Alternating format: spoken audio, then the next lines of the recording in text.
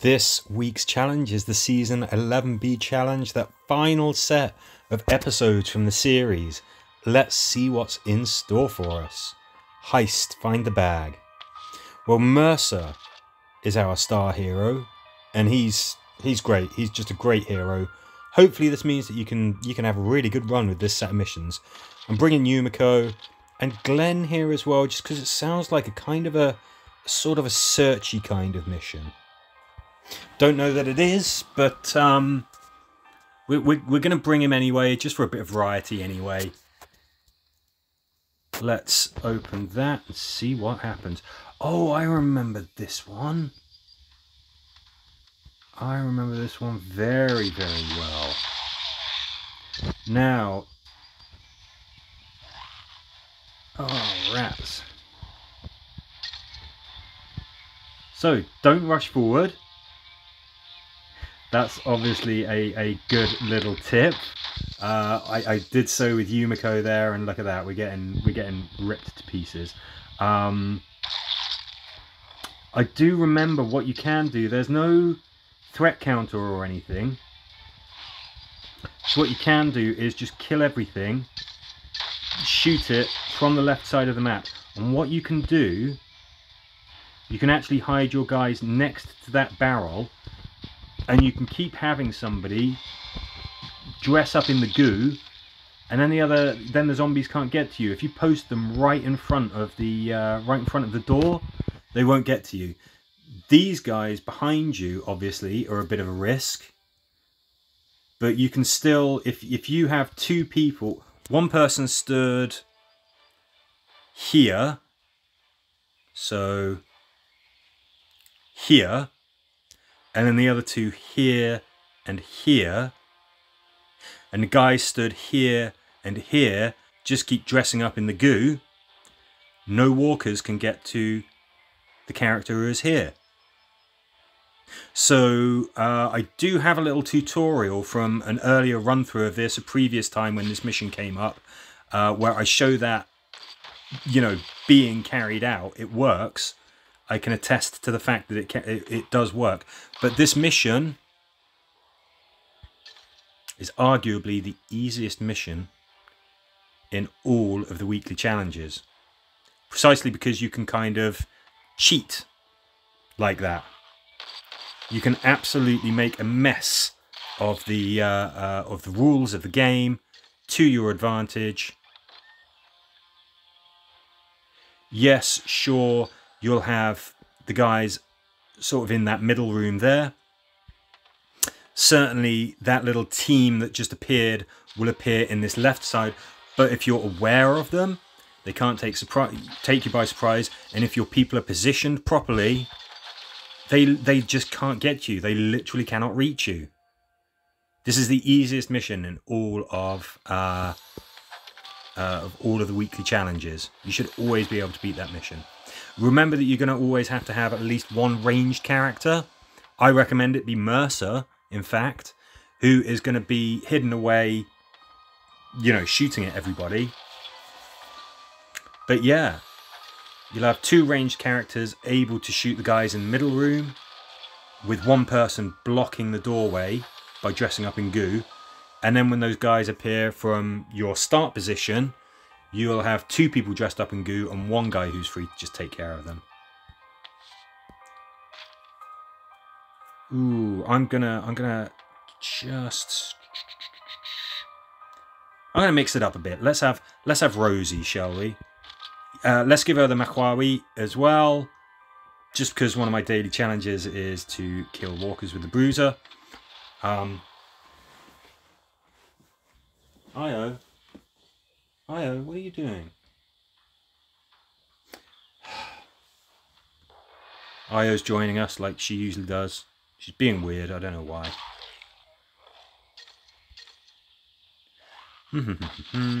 so, does this have any surprises for us? Io. Oh, rats, I just did that thing of um, placing Yumiko without checking whether that guy was going to be pushed back, something you never want to do. I mean, so far this seems like a pretty standard kind of mission. Is it going to throw anything weird at us? I don't think so. It's a normal mission. You have a threat counter and you have some walkers in front of you. Obviously, as you go up in difficulty, you're going to get tougher walker types. You're probably going to get more of them. The threat counter is probably going to tick over quicker. The threat counter will start with more walkers on the clock. You know, that kind of thing is going to happen. But that, the actual mechanics of that mission seem very straightforward. Kill the walkers, get to the exit. And the important part is that get to the exit part.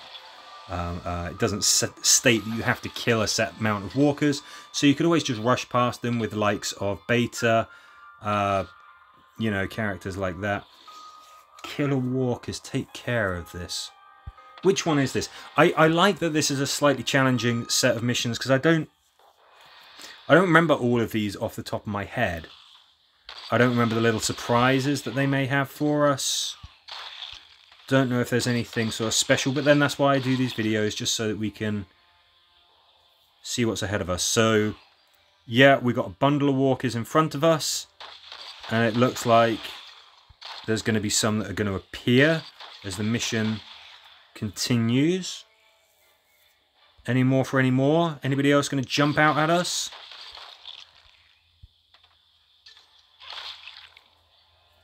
No, okay, alright. Well, what do we got? We got some. Uh, we got some tanks. Got some regular walkers again. Okay, so that that that's fairly that's fairly straightforward. That's like a killer walkers with a slight wrinkle that some walkers may or will appear after the was that the second turn that they popped up. But I mean, with Mercer as the lead, load up with ranged characters, stay to the left of the screen where you start, and just pick them off from a distance. Shouldn't be too challenging. I've got to I've got to remember as well those uh, those silver tokens are popping up. I've got to get that um, survival pass, get the platinum survival pass. I don't rate the weapon that you can win at the end, but you get so many tools, gold, uh, support tokens, stuff like that. It's it's still definitely worth it. Fifteen quid. Definitely worth it. Kill raiders and reach the exit. Okay, I'm gonna gonna mix it up a little bit. Let's have McGaggy. She is great for when you are going against non-normal enemies.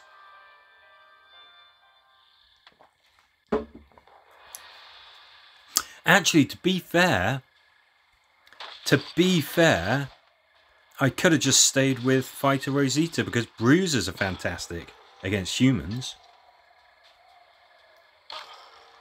Alright, I... That seems a little too simple. Okay, so some bad guys are going to appear.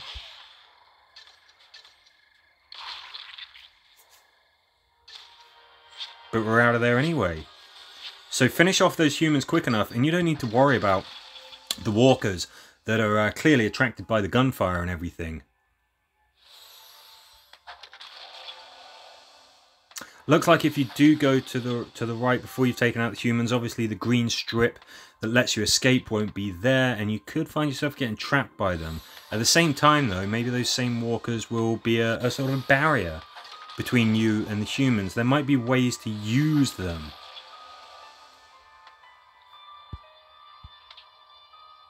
Hwacha, open the gate. Looks like we got some more humans. Let's...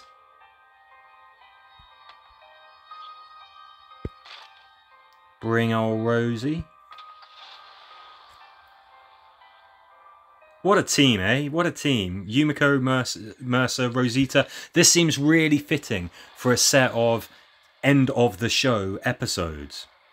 Kind of fits, doesn't it? Right, now...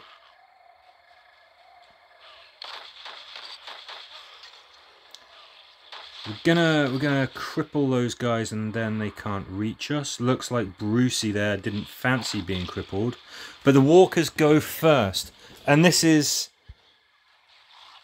I mean, I think I think that that's kind of an important thing to do right there is to let the walkers take care of the humans.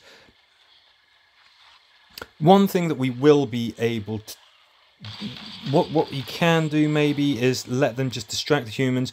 Once one of them is dead, they turn into snack food.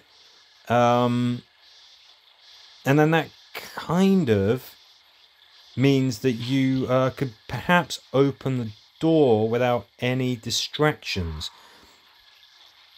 At the moment, you've got a lot of options because we're not on a on a hard difficulty or anything. But if you could get to that gate straight away and start opening, that might be a really handy thing because you won't have to deal with those walkers on the left side of the screen. How are you going to do that? Just basically shove the human survivors between you and the walkers and hopefully the walkers will be so distracted by them you can just open that gate and get out of there.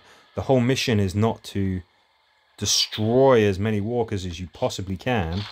It's to get out of there. As soon as you're opening that that door, the clock is ticking. Something that's worth bearing in mind, of course, is if you have Yumiko on your team, and she is stood near the person who is opening the door, if it's a ranged character, they will turn and shoot even while they are opening the door. So you're still getting some use out of them.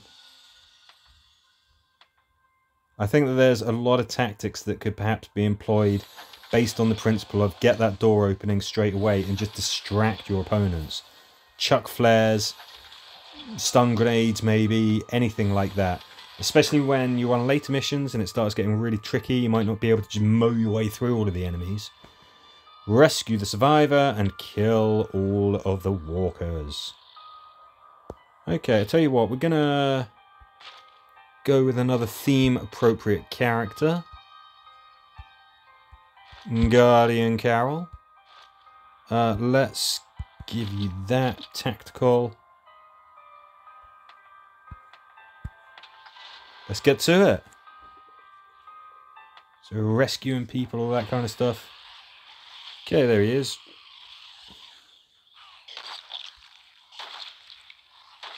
So you're going to have to have something which is, is good enough to punch through a particularly tough walker type at the start to save that character. A stun grenade would work. It doesn't stun, you know, a tough walker type. It won't stun a tank but it will shove them out of range basically and it will stop them attacking what they're attacking because well they can't reach it um, that can be a very handy handy little tip rest of this looks like we have some uh, walkers appearing from unexpected places so it's not quite a straight up kill all walkers once you have saved the hostage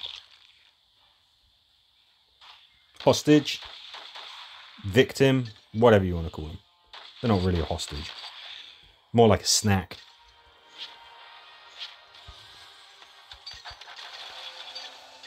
I think ranged characters would be the way to go for that.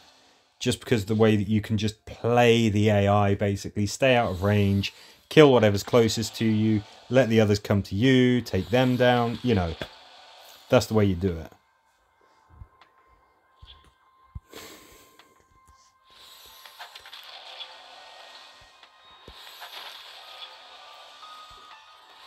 Okay, uh, have we got one more to go? Nope, that's it. So there you go. That's all of the missions. This is a pretty uh, a pretty interesting set. There's several missions there where you can use some specific tactics. You can outwit the mission, which is always very very fun to do. Uh, it's always fun when you can go like, "Hey, yeah, I outthought that problem." Um, Mercer is a great hero to have as the star leader and hopefully you're going to get an absolutely fantastic score on this weekly challenge. If you do have any dramas, just let us know in the comments.